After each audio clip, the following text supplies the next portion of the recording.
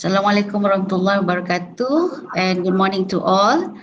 Okay, uh, first of all, I would like to thank all of you here for joining me today. Uh, also, thank you to the organizer, Office of the NCPI, for giving me this opportunity uh, to share uh, the research work that uh, we has, as a team has conducted at ARI. Uh, so let me just uh, present my PowerPoint slide. All right. Okay. So uh, today, what I would like to talk about is about this uh, investment fraud, which is called a Ponzi scheme. Okay. Uh, so my title is Ponzi Proof Your Investment. If it sounds too good to be true, it probably is. Okay, maybe uh, some of us here have not heard of the term Ponzi, but if I say uh, get rich quick scheme or scheme cepat kaya, then maybe a lot of people are familiar with it.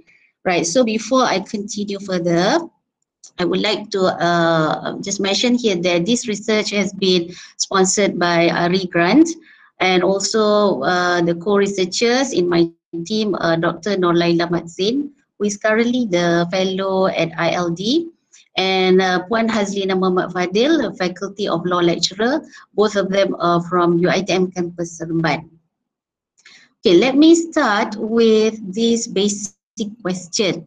Okay, why do people invest? Okay, so why people invest? I think uh, usually we get response like okay, people invest because they want to create wealth, right? So for so many reasons, for example, uh, people want to uh, maintain a certain uh, lifestyle, or they want to uh, prepare for their children, you know, or they want to uh, retire uh, well with the amount of returns they get from their investments. Okay, but not all investments will lead to wealth, especially if you join a Ponzi scheme, right?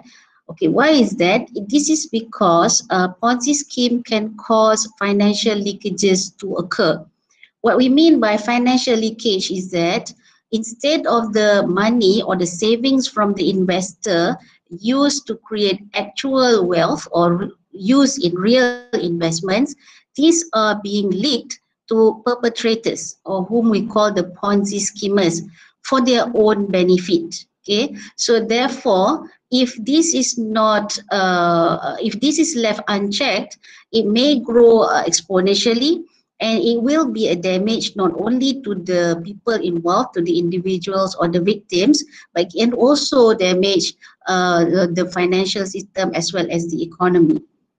Okay, my next slide is uh, showing you here, sharing with you some of the statements that uh, maybe we have seen before. Okay, ingin jana pendapatan, pendapatan express, uh, you can earn money without finding people. You can earn money without actually selling products. And also sometimes you will be uh, enticed by this statement saying that uh, I have done it, I have joined the scheme, uh, but when are you going to do the same?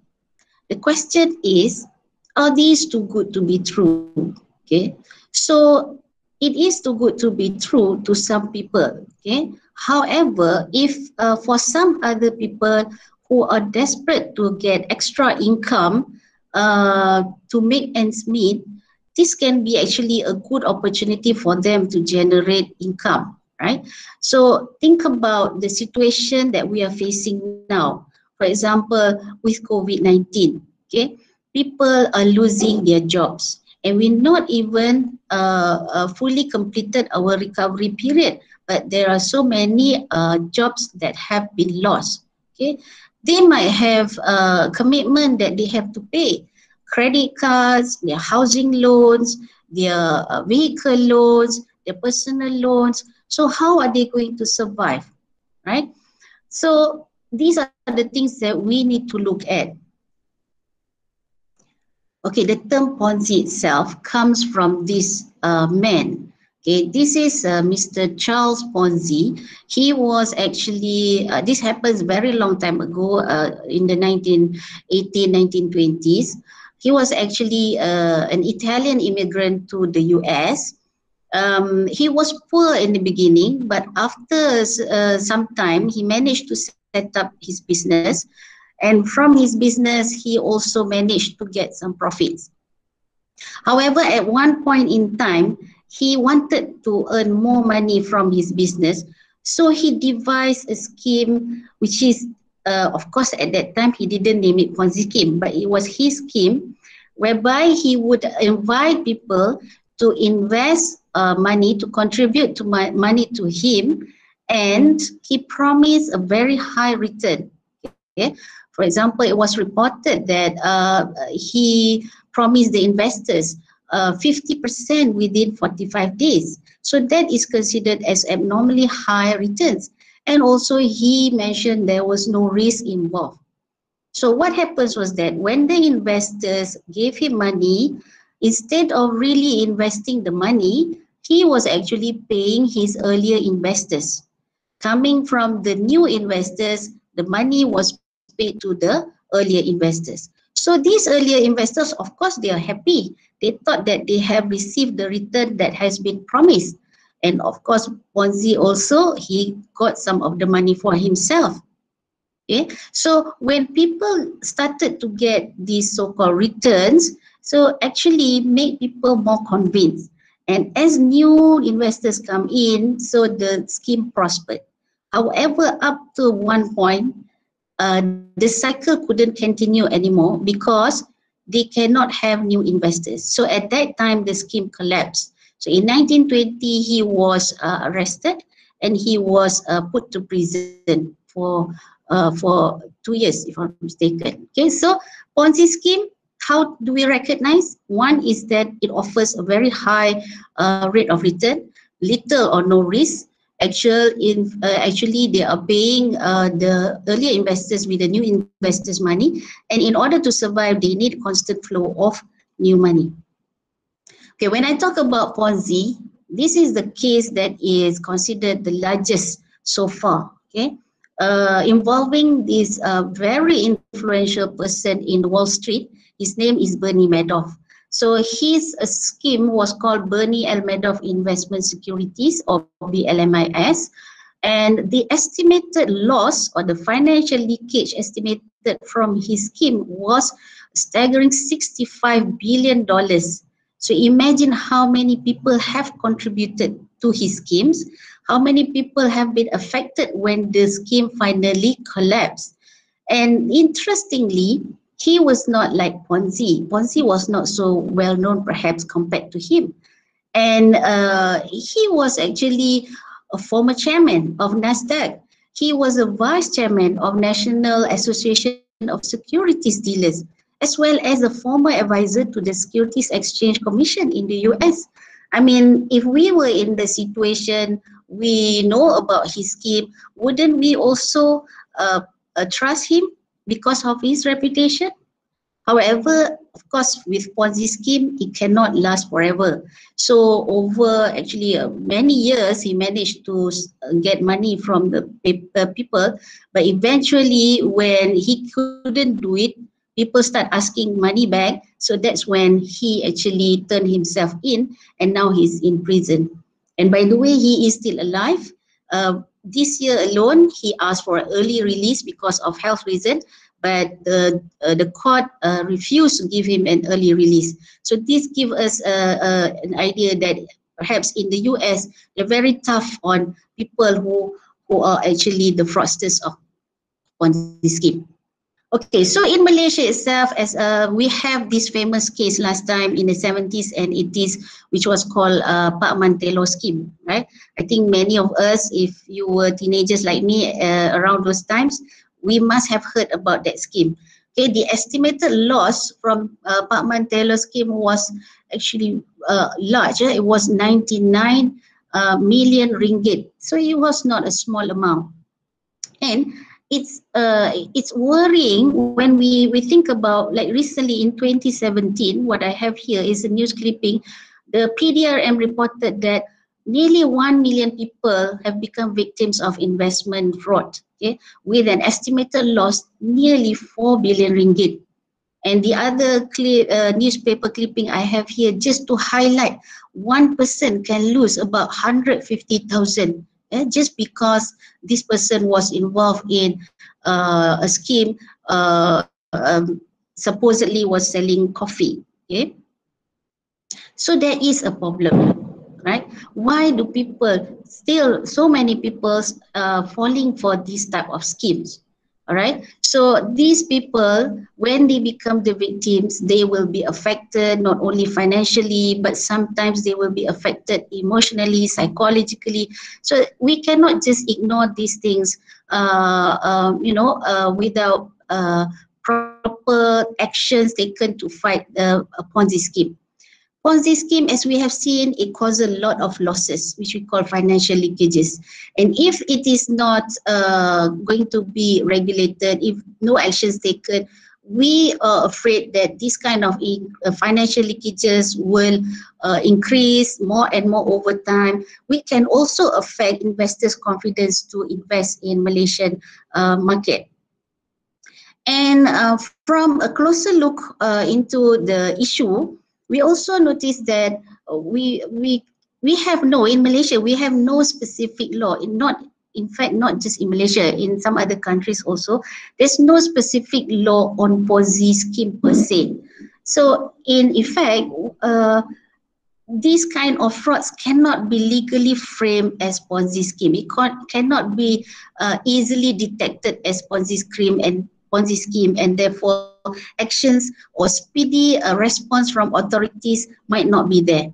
So based on these uh, problems, okay, our study aims to identify the influencing factors uh, to characterize the characterize the modus operandi used to profile the victims and the fraudster, as well to examine uh, the current prevention measures that uh, we use, okay, the authorities use to prevent Ponzi schemes. Okay, let me just share with you. Uh, this is from our findings. Okay, victim X. Um, this is like a classic case of Ponzi scheme. Eh? Uh, victim X uh, joined a scheme a few years ago. He took out about 5,000 ringgit from his EPF and gave it to one of uh, the trusted friend okay, because this friend suggested the scheme to him. And with the promise of around 100,000 return. Okay, so this ex has have a history of joining get rich quick schemes before, but even though uh, didn't manage to get any returns earlier, it didn't deter him from entering the scheme. Okay, as far as the transaction is concerned, the deposit was made to a personal bank account and there was no black and white proof of the transaction. And he was enticed into this scheme because he, he was told, okay, uh, there's this one slot available for you. You know, uh, if you don't take this slot, then you will miss out. So it gives him some kind of, you know, uh, idea that, okay, I should join this. Other people have have done the same, so I don't want to miss out, right? So what happens is that this trusted friend is uh, to to this victim X is acting as the leader. So the role of the leader here is apart from taking the money, the leader is also the person who feeds information uh, constantly to victim X. Because victim X will ask also the leader, when am I going to get the money? So the leader will come up with excuses after excuses why the money is still not there. For example, reasons given is that, oh, the money is in the process, but then because of PRU, uh, we are not able to uh, give it to you, or something like that. Okay. So based on that, okay, as an illustration, that actually brings our attention of what are the factors that can influence people to join Ponzi scheme. Now, our uh, study, uh, it identified three main factors. One is affinity, trust, and lastly, financial knowledge. What do we mean by affinity? Okay, affinity is when the victims and the perpetrators belong to the same close-knit community. Okay, it's the same group. It can be as simple as a family. It can be also as a working group. Okay, work, for example, us colleagues working in the same place, right? So because uh, affinity is there, because of this uh, small group, actually the the relationship is already built between the members. And if the perpetrators is also within that group, he or she can easily exploit interpersonal trust, which is already existing uh, uh, in within that affinity group. Okay, so uh, that's actually what happened to Madoff, whereby uh, uh, he used his uh, family ties and his friends uh, as people who are supporting his scheme. Right. So what is related also to affinity is the factor trust. Okay. So trust plays a role to build. Uh, uh, sorry, uh, the perpetrators need to build trust and also needs to maintain trust. Okay, why do they need to build trust? Of course, they need to convince people to uh, join the scheme, isn't it? Things like they will do, uh, for example, they can post uh, on social media uh, how well they are doing, their wealthy lifestyle, posing in front of luxury cars and so on. So this kind of things actually trying to build the trust and confidence uh, uh, among the pos possible victims. Okay. And on top of that, trust is also used to maintain, uh, the perpetrators also need to maintain trust within the scheme uh, because they don't want people leaving the scheme. Because if people start to leave the scheme, they are going to ask for their investment or their money back. So that is not good for the Ponzi schemer. Okay, so they need to maintain. That's why, like in the case of Victim X, the leader's role is to actually feed information to victim saying that don't worry you still need to wait sabar you know uh, uh, good things comes to patient people. So things like that motivation for people to maintain in the scheme.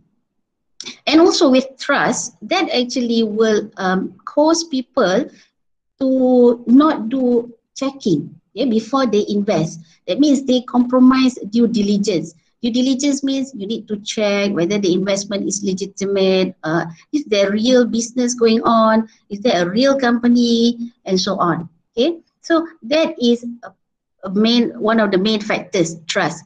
The other factor is a financial knowledge. Maybe to us, we might think that people who join Ponzi scheme are those lacking financial knowledge.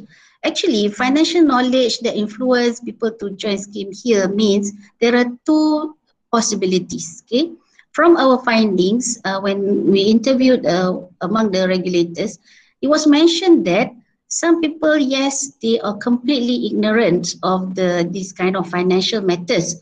So, which means that uh, they are they couldn't evaluate properly whether the investment is worthwhile or not, whether it's legitimate or not. So it could possibly be because these are among the people who are desperate to make ends meet. They don't know much about financial matters. They might need to save their, for example, their uh, okay, uh, they, they have to pay a big commitment uh, of debt and so on. So they join. But the other type of victim is also people having financial knowledge.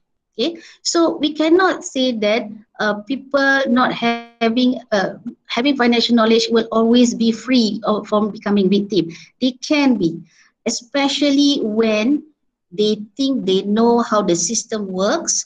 They want to try their luck. Okay, and it is possible also that greed comes into place here. That means induced by greed, so they join the uh, scheme. So these are the common types of investments uh, used by Ponzi schemers. Okay, these are the names of investments commonly used to promote their their schemes. For example, forex trading. Okay, uh, nowadays you'll find that even the youngsters they are very keen on uh, getting money out of forex trading. Right. The other thing, cryptocurrency. Uh, almost everywhere people already know a little bit at least about Bitcoin, have heard of it, okay? Gold investment scheme, not saying that gold investment is illegal, but it can be used to entice people to join the scheme. Same thing with commodity investment scheme, for example, uh, kopi or kayu gaharu, Uh, okay, and then property investment scheme, whereby uh, it could be the case where uh, a scheme promises to build houses with low cost, but we as the investor we need to put in money first, right? So after a few year, few years, we should get the the the house, uh, things like that. Okay, multi-level marketing and also recreational membership scheme. Okay, if we look at the modus operandi, okay, this is uh, how it is being conducted. In this digital era, we find that, uh, uh, as, as documented here by Interpol 2019, investments are promoted using digital platform, right? So from there, investors were invited or were asked to open trading accounts, and then the investors are put uh, in contact with perpetrators to convince the victims, normally there will be a way for the schemers to show quick gains which are virtually announced. So that can be very attractive, but how can you tell that it's real? Okay, and that's how the victims are persuaded and pressured. We also need to take into account of the modus operandi, uh, for example, okay, companies uh, because they know that if they want to convince people, they need to show that their company is registered. So what they do is they register it with Suruhan Jaya Syarikat Malaysia, but they do not go all the way to get license from Securities Commission or Bank Negara Malaysia. So in a way, that's how we can check whether it's legal or illegal. Okay. The other thing that we need to be aware of is that these schemes normally or some of these schemes they have a, a marketing plan with elaborate packages available. Okay for example if you want to invest a little you can or if you want to invest more you can also uh, choose a, a, different package. So these are common uh, methods used.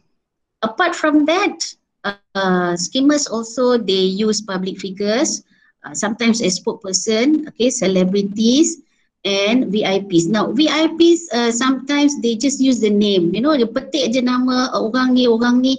Uh, so some people might be gullible enough to think that yeah, it is true. Okay. Uh, and and they say that uh, things like this are secretly done. Uh, for example, the investment, uh, they cannot uh, give information banyak banyak because this is high profile and so on. So kita pun we don't want to ask so many questions, right? So because of the trust there, we tend to believe.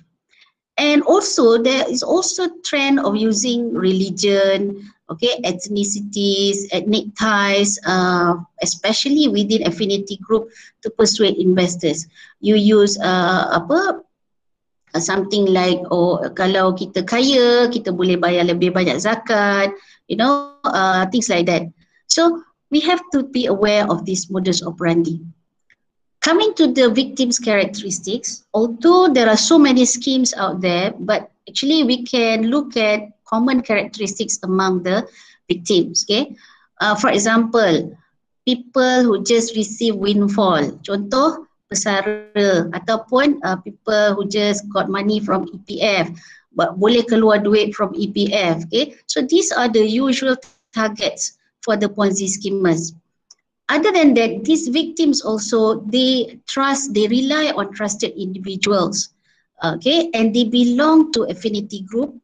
They are also um, uh, mostly gullible. Gullible ni maksudnya dia senang kena tipu, okay. And the financial knowledge just now, whether they have financial knowledge or perhaps they also lack financial knowledge, both of them can be actually uh, uh, their characteristic for the victims. For the fraudsters pula, okay, uh, normally when you have this scheme going on, there will be this person, this conman. And the conman ni orang yang menipu tu, okay. So this conman, uh, he is in direct, uh, sorry, this conman is in direct communication with the investors.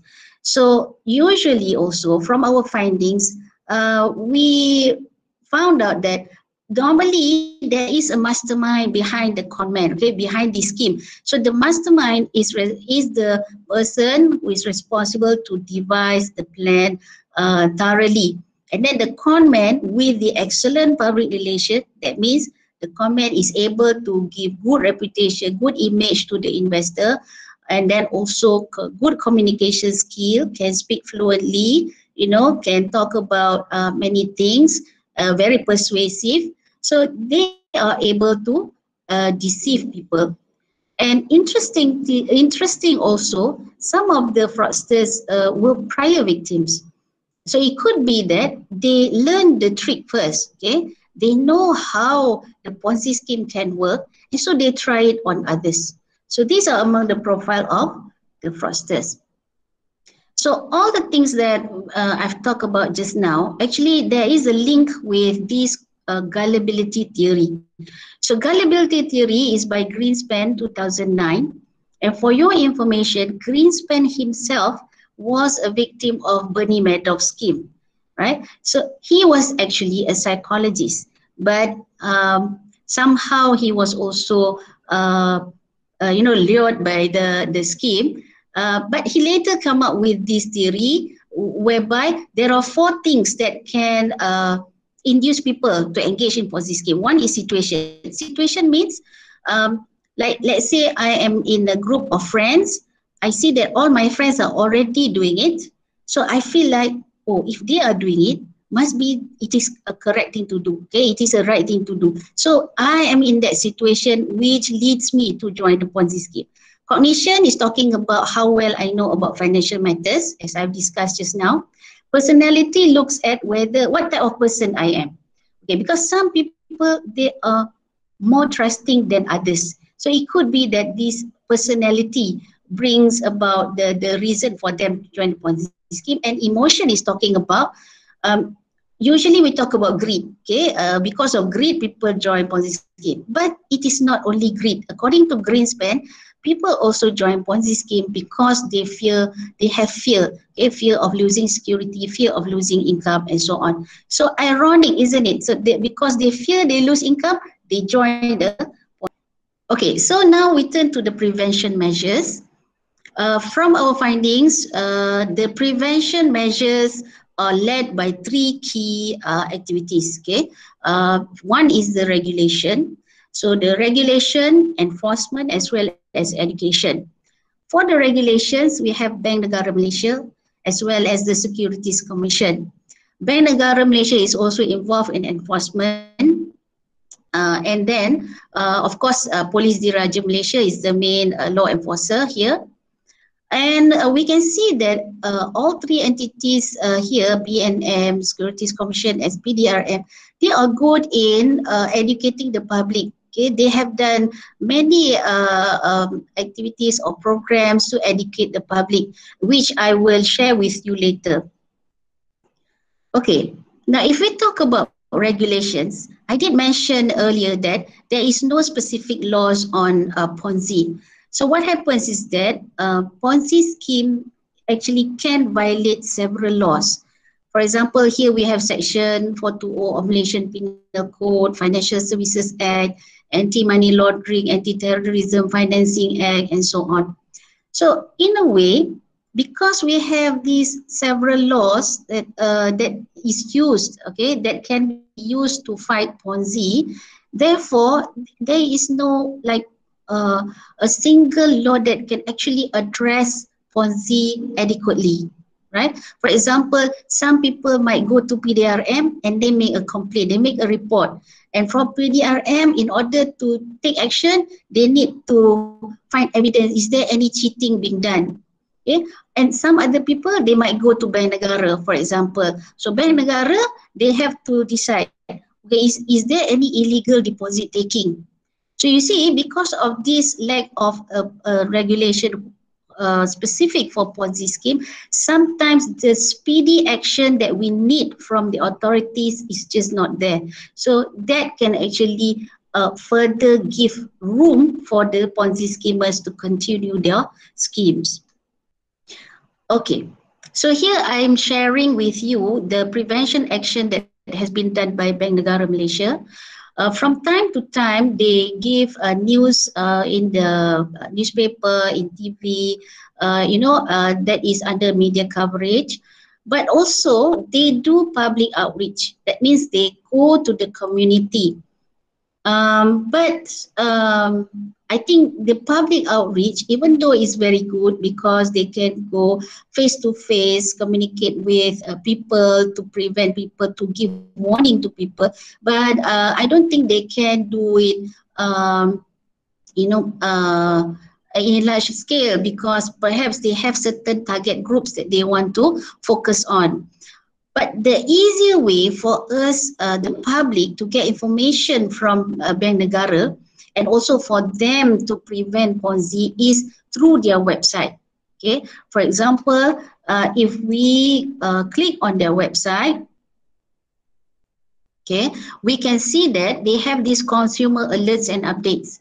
And uh, for example, they have the list of companies and websites updated 31st March 2020. So this is uh, current, okay? So we can actually go to their website and check whether the investment that we are going to enter is legitimate or not.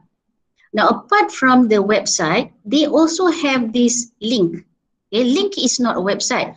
Link is actually like a one-stop center whereby they they have direct communication with public uh, because like okay for us if we go to commercial banks anytime we can go there and and and interact with the bank isn't it? But for bank negara normally we don't have any uh, concern to go there. But for link when they have set up BNM link laman informasi nasihat dan khidmat they actually created uh, an avenue for the public to make a report or to ask questions regarding these uh, investments that they are interested in. So that is a good thing. Okay.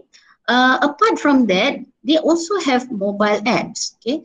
Uh, I don't. I'm not sure whether you have heard of it or not, but there is one which is called My BNM, and I'm sharing here what they have. It is interesting to see what they have inside the app. Okay. Apart from, for example, the alert list that I have here, these are among the things that we can find in the mobile app. We can also find education uh, material. Okay, for example, BNM is using this simple cartoon just to ex explain to us uh, quite simply what illegal deposit taking is. Uh, so these are the kind of things that are available out there. Okay. Now, if we look at the second, uh, which is Securities Commission, they also have their uh, website, investor Alert, similar to Bank Negara. And they also publish a list of unauthorized websites or investment products or companies or individuals here. So it's a matter of going to their website and clicking and you can get a lot of information there. Other than that, they also have the InvestSmart here. Okay, InvestSmart here is their effort to to uh, give information so that investors will become protected investors. Here I have also uh, take note of uh, some of the uh, photos that they uh, publish uh, in uh, people wanted by the Securities Commission. Okay, so what about PDRM? So PDRM is the law enforcer PDRM actually has uh, this one specific department, uh, Commercial Crime Investigation Department, which uh, uh, acts to monitor, they compile statistics as well as to identify the modus operandi of investment scams. Okay, so apart from that, they they also have alerts. For example, if we look at on this right hand side, okay, this is what we can get from the social media, which is Facebook and also from their website this is where we can check the if, if there is any for example bank account which we are not sure you can put in there and you can check the information. So all these kind of prevention are all very good okay? But we still need to look at is there anything that we can do better right? Of course the authorities also uh, they have done very good job okay? However maybe for example us the public we also have to do the same okay and that's why i think what happens in these uh, ponzi scheme alert groups okay these are just uh, a group of people who are concerned uh, with uh, doing a good thing to prevent Ponzi. This is an, in social media, which is on Facebook. Um, in order for you to join this, you need to request to the administration. Okay, but it, it's okay. It's quite easy for you to uh, join this Ponzi scheme alert uh, group. And I find that this kind of uh, social media uh, information is very very uh, useful. Okay? Because they have daily updates. They always give tips on how to identify uh, ponzi scheme. What are the red flags that we should be aware of? So this is a kind of uh, coming from the public themselves how to prevent uh, the ponzi scheme okay so as a conclusion okay our study found that uh, there are three uh, influencing factors, which are affinity, okay, trust, and financial knowledge. And these three factors are also inconsistent with uh, what uh, with Greenspan's theory of gullibility. And these are the things that we should take note of. Okay, for example, in the education program uh, that is uh, undertaken by the authorities, they can always stress on this affinity, the trust, and the knowledge issues that have actually um, become an influencing factors for people to join Ponzi schemes. Now, in terms of regulation, we are in need of a proper and specific regulation uh, uh, because also uh, this with, with having a, a law on that, this will give power to the law enforcement to properly enforce the law. For example, they might be uh, given better enforcement tools uh, in order to curb Ponzi scheme. But most important of all is education, right? So we cannot stress more. This is very important, the education. When we talk about regulation and enforcement, that is like after, uh, you know, when, when the scheme is already there and have already cheated people, that's the action that we need to take. But when you talk about education, this is like this is really preventing it, and you we need to have more of these awareness programs.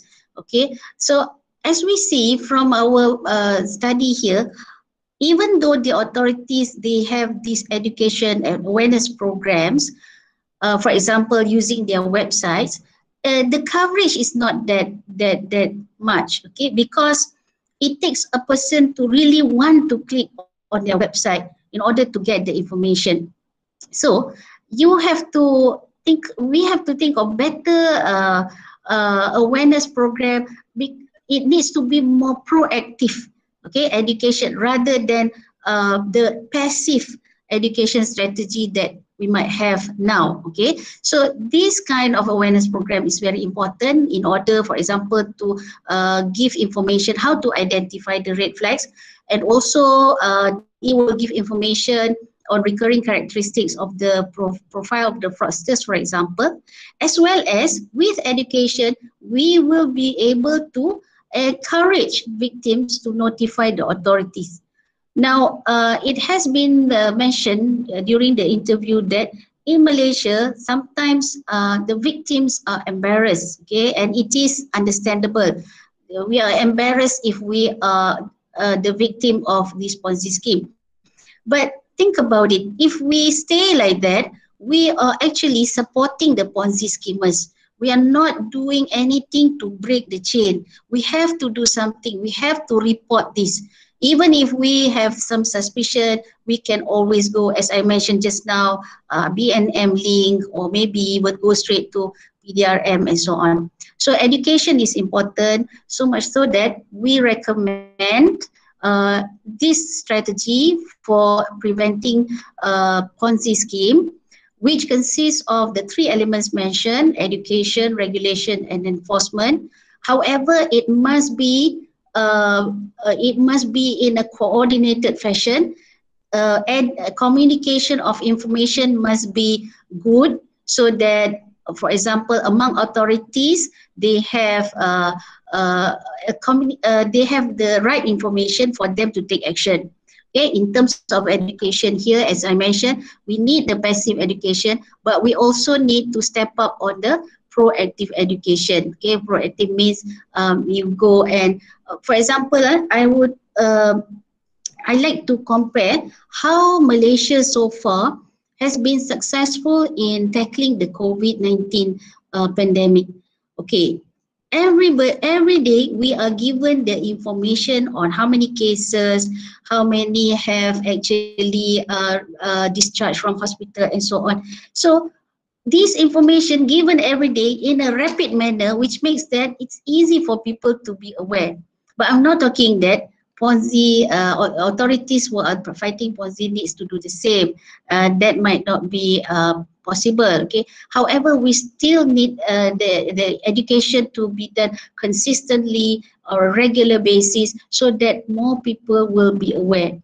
And when talking about education, also since we are in a university, I would uh, I would like to highlight that actually as lecturers we can play our role. Okay, when we are in the class, we are interacting with our students. We can always uh, give some tips to them.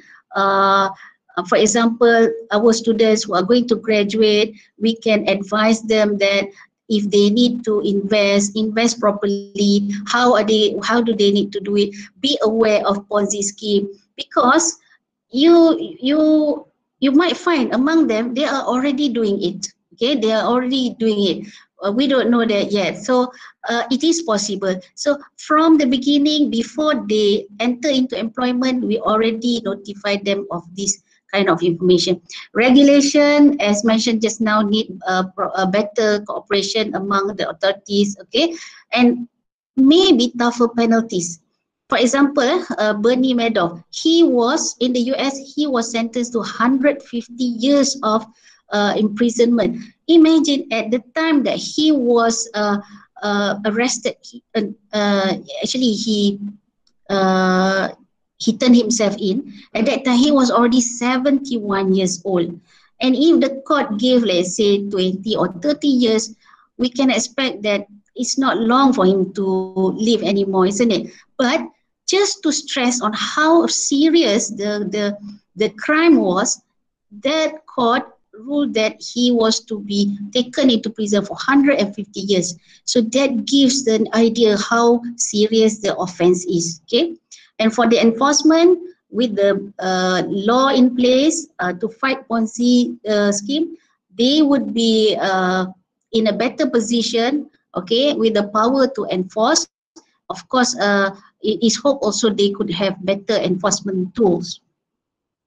So to end my presentation, how to Ponzi proof your investment? First of all, we have to train ourselves to be skeptical. Okay, we cannot just believe whatever information that is fed to us. We cannot believe whatever people tell us. We have to check by ourselves. Okay, that is where the due diligence come in.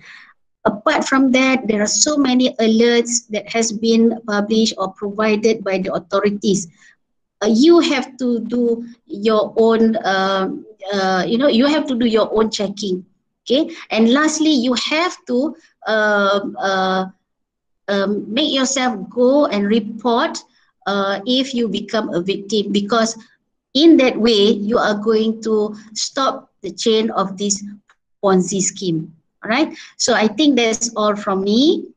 Uh, thank you um, maybe uh, we will uh, open uh, the floor for questions.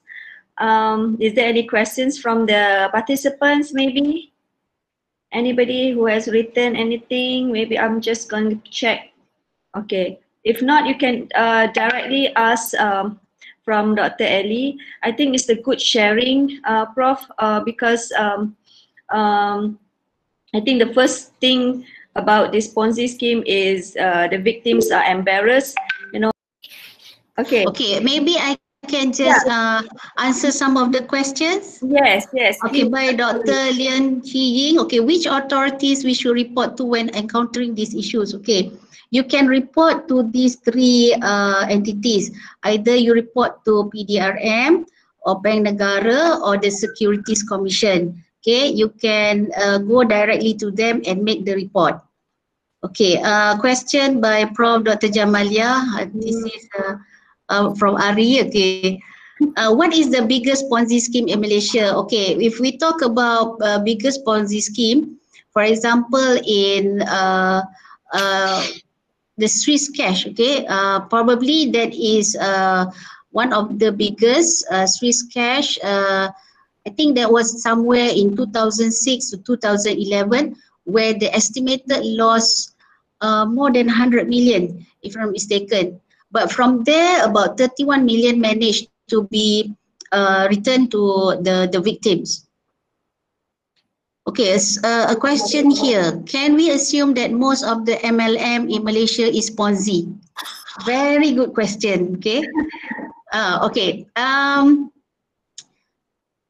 uh, I, I do not suggest that we can assume eh, because uh, this thing is uh, but but what I can share with you is what we got from the findings uh, during our interview with uh, the regulators. Okay, they mentioned that basically MLM is illegal. Okay, however, uh, they need to look closely into the perhaps the modus operandi, what is going on with the MLM, because as you can see, MLM can be used as a Ponzi scheme. Okay, uh, so in order for us to know more whether MLM is actually a Ponzi or not, it's not a simple matter for us to say.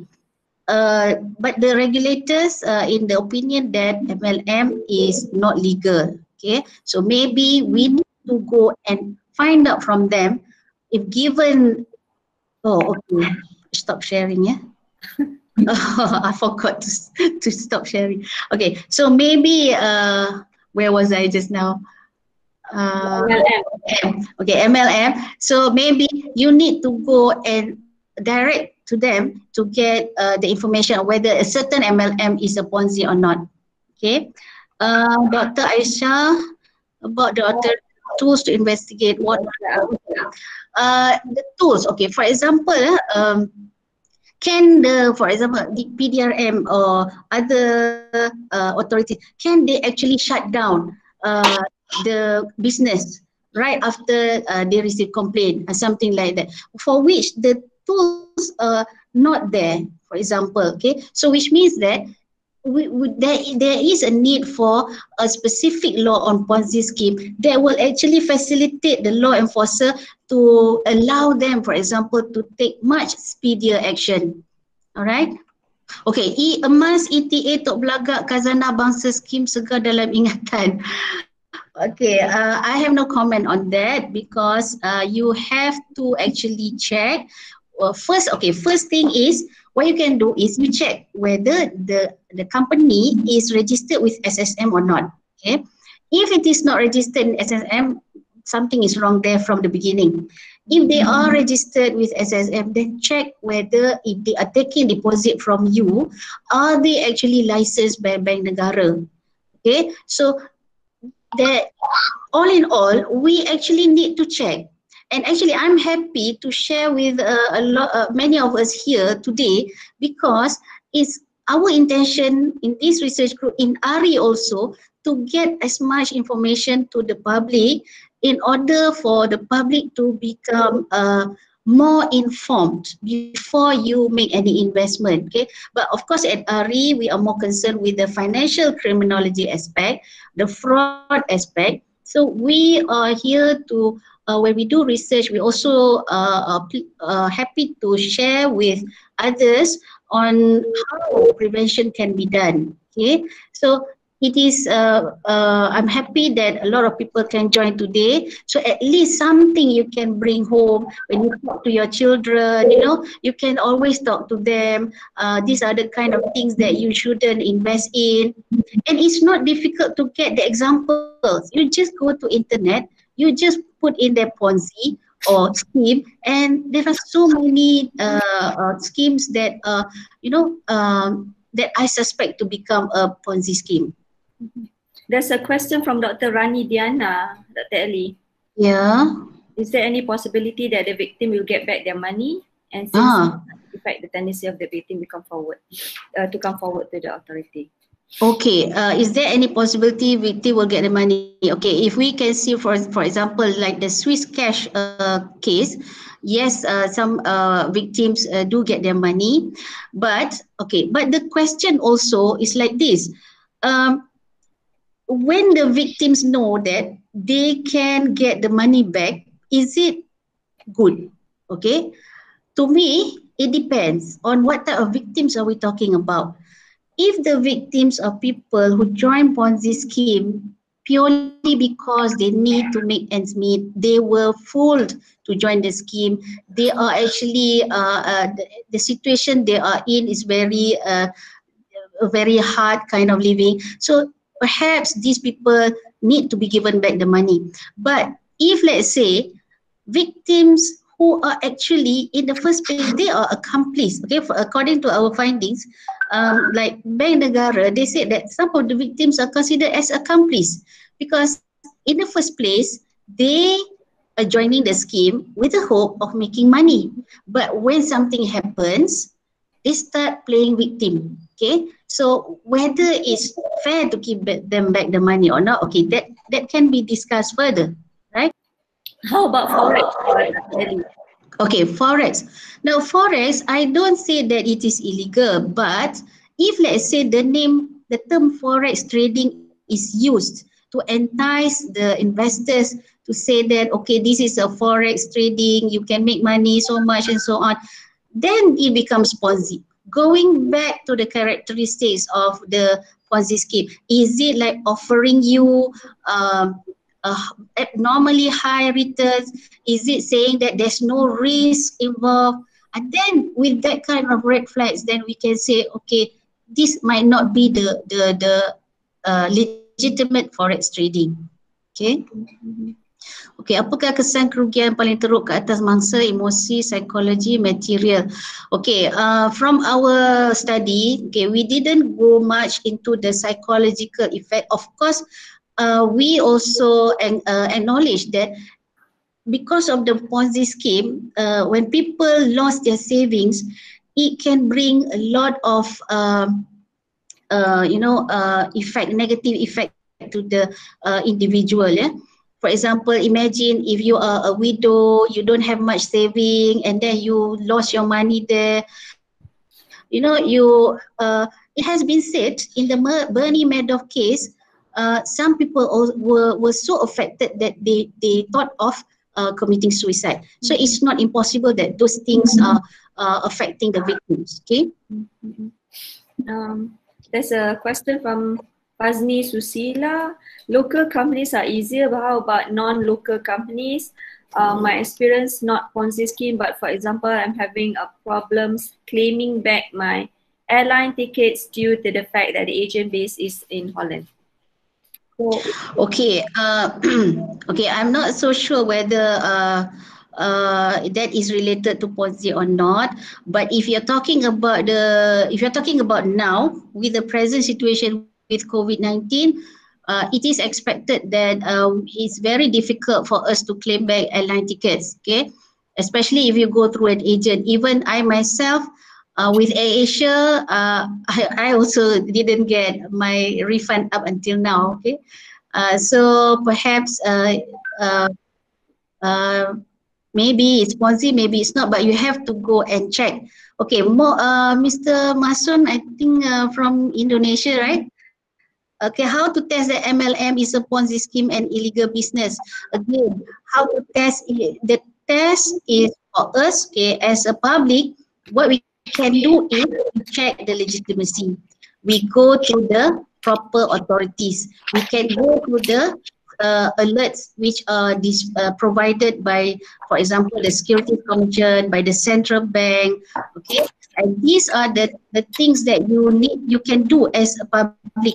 But then, uh, how to test public? That is up to the authorities uh, to to you know to determine. Okay, are there any specific enforcements deal with these issues directly without we got through all the troubles? Okay, how do you disseminate this info in classroom? Okay, for example, in classroom, uh, I'm an accounting lecturer. Okay, so some of the things that I teach them is like budgeting. So when I talk about budgeting, I will also explain to them that when they go into employment later, they really have to budget uh, their expenses. Uh, what I observe uh, among our youngsters is that they might nowadays everybody is living kind of lifestyle which is quite luxury you know. Uh, sometimes not that they have so much money but they are they are uh, because of peer pressure and so on they they want to have that kind of uh, standard of living okay? Uh, they want to portray that they are uh, uh, they have a, a good uh, lifestyle. So because of that they might when they enter into uh, employment they might not be able to save do some saving or to budget for their expenses. So when this is related how well they manage their cash for example. So that is when i will uh, talk to them about do not please be aware of ponzi schemes okay for example if you have uh, if you look at the advertisement it looks too good to be true please don't do it uh, things like that Okay, Dr. Nolaila added, um, she said that according to our findings, sometimes after the cases have been brought to the court with all the evidence in the end, for some reason, yes, the cases were dropped. Okay, so that is quite unfortunate. Okay. Uh, true, uh, uh, Dr. Saiful Ikma, uh, selalunya alert dan list keluar bila dah ramai yang terkena. Yeah, so we have to uh, play our role uh, for uh, encouraging people or ourselves also to go and report on all these things. I think, the, I think the best bet is that um, whenever that uh, you are being uh, introduced to this kind of scheme, uh, we have the you know the right and you have the responsibility to check um, by ourselves about how true it is and whatnot, and to you know to refer this to someone someone who is more knowledgeable maybe or to check with the police. I don't know. Uh, from what you have uh, shared i think that's uh, among the things that we should do before we trust uh, yeah. any any scheme. Not not saying that it's ponzi or not because sometimes we do not know until it is you know in the newspaper so i True.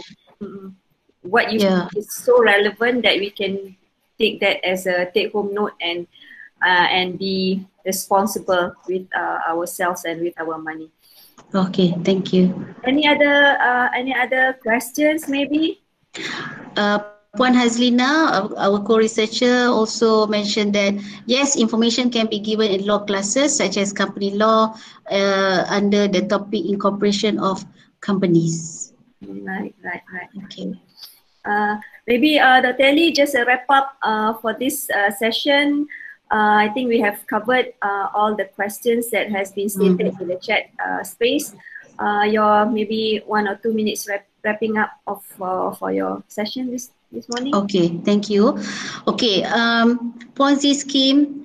Uh, at least I hope that by today everybody know already in this uh, session everybody already know about Ponzi scheme. Okay, Ponzi scheme, before this people don't know. Uh, so it's uh, essentially it's just like re- quick rich scheme. Please do your part in preventing this thing from happening. Uh, we cannot just rely on the authorities to do it. They have done a very good job. Okay, so maybe it's up to us, the public, to do our role. Okay, so I think with that, uh, uh, I thank you so much for everybody who has joined uh, this session and I hope mudah-mudahan adalah ilmu yang boleh uh, apa memberikan manfaat yeah. kepada semua yang hadir pada hari ini. Itu yeah. saja Dr. Cema. Thank you very much. Thank you Dr. Ellie. Thank you around insyaAllah. Okay, Assalamualaikum warahmatullahi wabarakatuh.